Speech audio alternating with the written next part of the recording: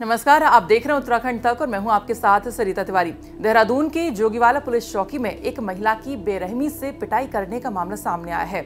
महिला का coronation hospital में इलाज भी चल रहा है। महिला की हालत काफ़ी गंभीर बनी हुई है। दरअसल मामला कुछ इस तरह से है कि महिला को पुलिस चोरी के शक में पूछताछ के लिए चौकी ले जाती है। आरोप है कि चौकी में उसे थर्ड डिग्री टॉर्चर दिया गया। बिजली का करंट लगाने के साथ साथ गाली गलोच भी की गई, बर्फ़ भी डाली गई उस पर। महिला की हालत इतनी खराब है कि उनसे बात करने पर वो बोलने में भी असमर्थ नज़र आई। पीड़ित महिला के परिजनों ने बताया कि तीन महिला और एक पुलिस कांस्टेबल उनके घर पहुँचे थे। आरोप है कि पुलिस कर्मियों ने पहले तो उन्हें घर में बुरी तरह पीटा और सारा सामान बिखेर दिया। इसके बाद उसे पुलिस चौकी ले जाया गया। वहाँ पूछताछ के दौरान पुलिस ने उनके ऊपर बर्फ़ डाली और करंट लगाया।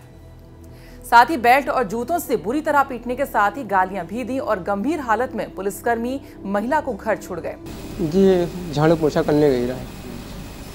और वहाँ पर सुबह नौ बजे गई रहा है, ग्यारह बजे वापसी हो गया रहा अपने रूम पर। वहाँ एक बजे से लगा के दो के बीच में चोरी हो गई।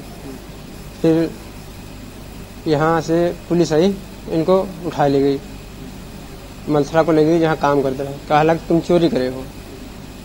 वहाँ से पूछ जाँच हुई, वहाँ से वापस हमारे रूम पर ले आए। वहाँ रूम की तलाशी ली। सारी तलाशी में कुछ नहीं निकला।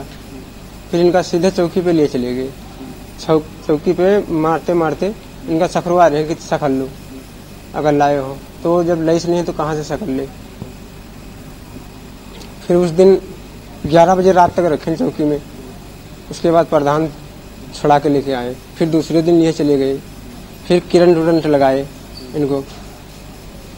और बर्फ़ पे बर्फ़ पुलिस वाले ने और बर्फ़ पे लेटा के मारे। फिर दूसरी रात के दस बजे छोड़ी। सर ये बात है।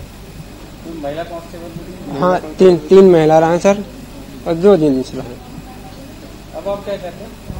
हम सर न्याय चाहते हैं न्याय हो। क्या मांग बगैर अन्याय के मारा गया है सर।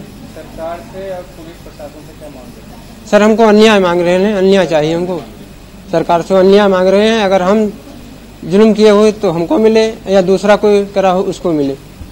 हमको न्याय चाहिए, सर। महिला के परिचय तो उसे कोरोनेशन हॉस्पिटल लेकर आते हैं, जहाँ पर उसका इलाज चल रहा है। देहरादून से दिलीप सिंह राठौर की रिपोर्ट।